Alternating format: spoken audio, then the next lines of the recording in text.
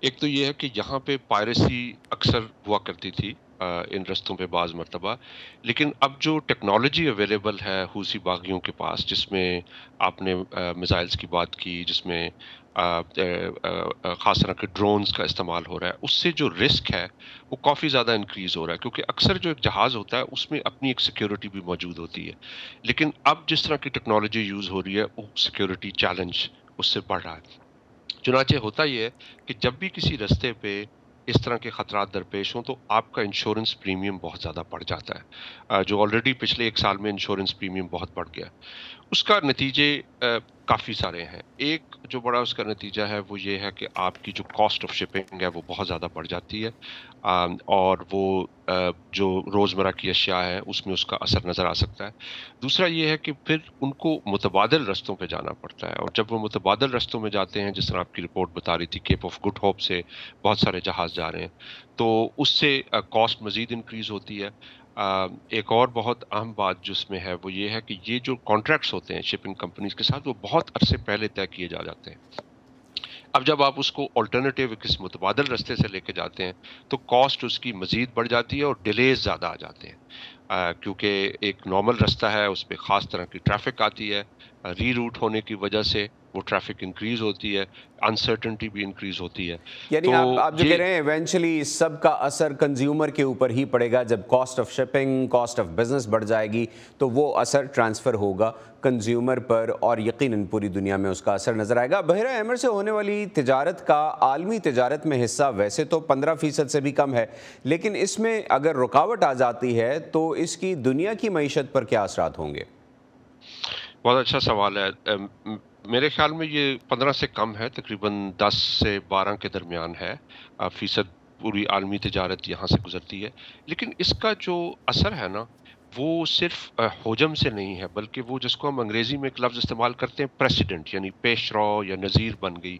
ایک مرتبہ جب یہ ایک پریسیڈنٹ بن گیا، تو بہت سارے جو دوسرے ٹریڈ روٹس ہیں، مثال کے طور پہ ساؤتھ چائنا سی ہے، وہاں پہ already geo political complexities exist کرتی ہیں۔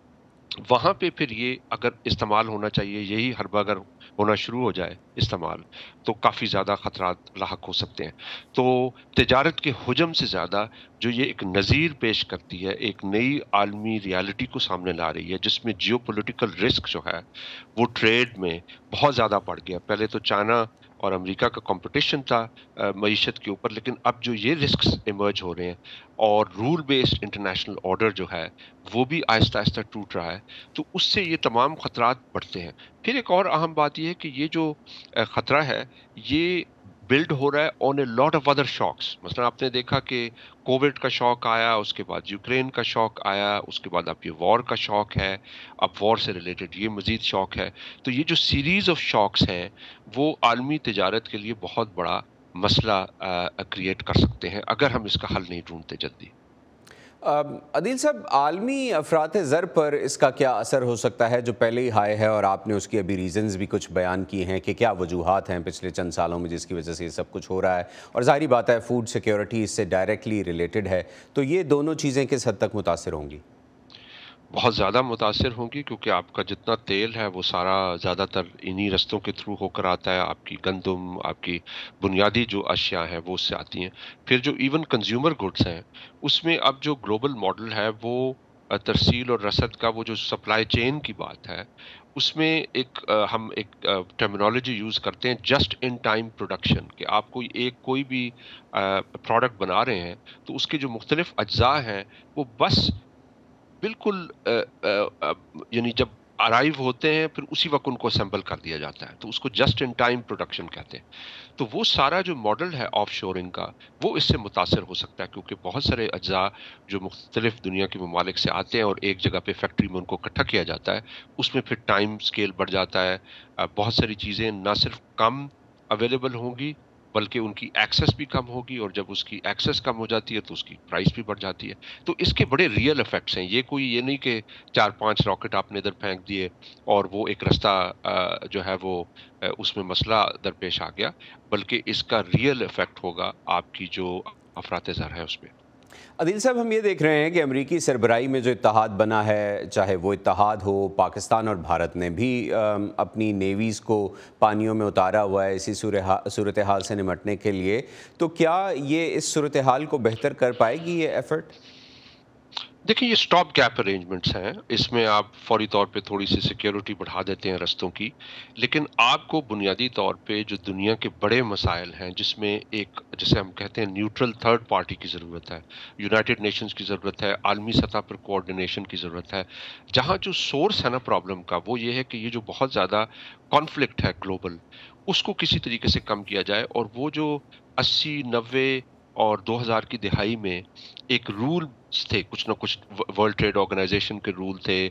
ایک طریقہ تھا کہ کیسے آپ اپنے تنازعات کو حل کرتے ہیں عالمی اداروں کی صورت میں۔ اب اس کو کافی زیادہ بڑے مسئلے درپیش ہیں۔ جب تک آپ اس سسٹم کو ایوالو نہیں کرتے انٹرنیشنلی تو یہ اس طرح کے مسائل بڑھتے رہیں گے۔ ہم نے یہ بھی دیکھا کہ خطے سے صرف بحرین کی جو فوج ہے یا بحرین اس اتحاد میں شامل ہوا، اس صورتحال کو کنٹرول کرنے کے لیے، کیا وجہ ہے کہ خطے کے جو دیگر طاقتور ملک ہیں، جیسے سعودی عرب ہے، یو اے ای ہے یہ لو، یہ ممالک اتنے زیادہ پیش پیش نہیں ہیں اس ایفرٹ میں؟ دیکھیں، ان ممالک کے لیے جو بڑا مسئلہ ہے، وہ یہ ہے کہ ان کی اپنی عوام الناس کافی پریشان ہے غزہ کے مسئلے کے اوپر۔ اور اگر ان کے سامنے کوئی بھی ایسی کاوش جاتی ہے جس میں لوگوں کو ہلکا سا بھی خیال آتا ہے کہ یہ اس لیے کیا جا رہا ہے تاکہ اسرائیل کی مدد کی جائے، ان کی تجارت کو پروٹیکٹ کیا جائے، تو ان کے لیے ایک بڑا ایک سینسٹیو مسئلہ ہے یہ۔ تو اس لیے اس کو میں تو بالکل سرپرائز نہیں ہوں کہ بہت سارے ممالک نے، ایون الجیریا نے بھی ابسٹین کیا ہے اس سے۔ تو آپ کو سورس جو ہے مسئلے کا، اس کو حل کرنا پڑے گا کہ یہ جو عالمی تنازعات ہیں، اس میں ایک نئے فریم ورک کی ضرورت ہے دنیا میں، تاکہ ہم اپنے ان مسائل کو اچھے طریقے سے ڈائلاگ کے تھرو انٹرنیشنل انسٹیٹیوشنس کے تھرو ریزالو کریں، تاکہ بات اس سطح تک پہنچے ہی نہ کہ ہمیں اس کو لا اینڈ آرڈر ایشو بنانا پڑے۔